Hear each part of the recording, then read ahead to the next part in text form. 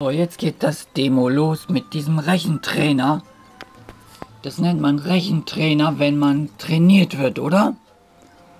Also, jetzt geht's los. Man drückt hier einfach auf die Taste, das ist die Enter-Taste. Hier. Und dann geht's los. Was sagt er? Ganz schnell 8 mal 1 oder so. Ist 8. Nein, 9. Punkte 0. 7 mal 1 ist. Jetzt drücke ich auf die 7. Gut. Punkte 3. 40 durch 5 ist 8.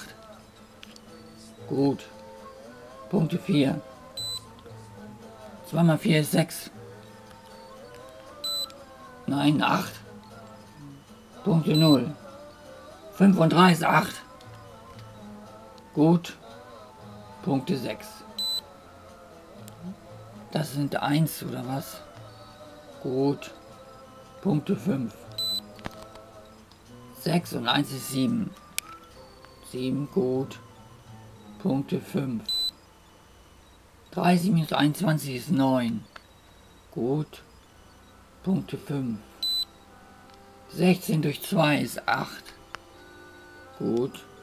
Punkte 6. Das war's. Vielen Dank für das dass ich das vorführen durfte.